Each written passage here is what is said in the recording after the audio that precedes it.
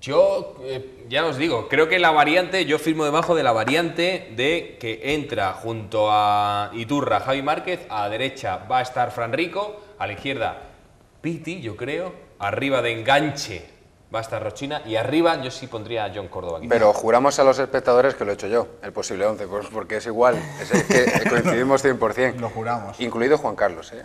Yo creo Sí, que sí, Juan Juan Carlos, Carlos en el- es cierto que esta semana hemos visto en, en alguna sesión de preparatoria que Caparrós había incluso ensayado con Sissoko en el lateral Claro, se izquierdo. ha quedado fuera de convocatoria de nuevo. Pero claro, mm, yo insisto en que Juan Carlos, por lo menos en la última jornada, lo hizo bien, Sí. cumplió bien. Mm, Yo creo que se puede sentar con un buen, un buen lateral izquierdo, teniendo en cuenta que Martins todavía no está al 100%, y yo creo que puede ser el claro titular para el partido en San Mamés. Yo a, a la única pega que lo pongo a lo vuestro es dejar el 11 como estaba y, y arriba que ponga a Córdoba y que ponga a Isaac Saccés. Eso es lo, lo único que yo variaría. Pero bueno, O esta es alternativas. otra de las alternativas, de las posibles alternativas. Fulquier que podía volver al lateral zurdo, a lo mejor entiende eh, Caparrós que en la pasada semana venía con el virus FIFA o venía porque estuvo con fiebre y tal.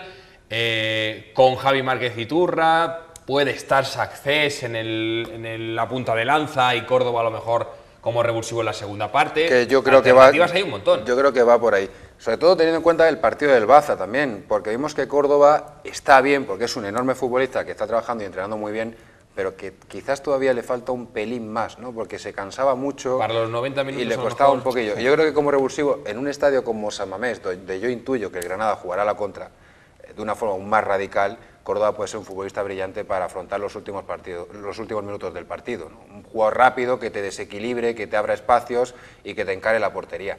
Así que yo creo que Córdoba puede encajar más como un hombre de banquillo que salga en la segunda parte que como eso. Y creo que es el partido para Javi Márquez.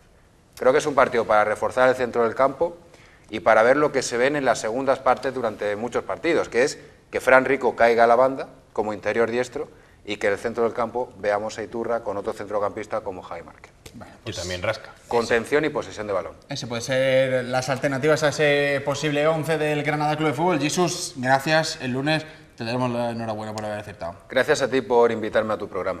Bueno, una, una pequeña publicidad y vamos con toda la actualidad, pero en este caso vamos con la actualidad del Athletic Club de Bilbao.